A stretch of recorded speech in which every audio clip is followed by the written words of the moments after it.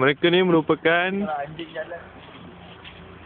pelancong Regensburg. Say. Say, say, say. Okay. Sekali, sekali, sekali. Okay. Eh, mulu dah sebiji ah punya.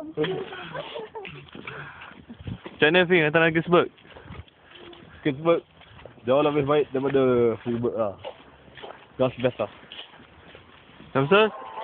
Also, uh, bagus lah. Sebab tempat dia panorama dia pun cantik. Allah terbuka handphone. Jadi saya rasa puas hati lah. Sekarang kita nak perjalanan ke Hauptbahnhof.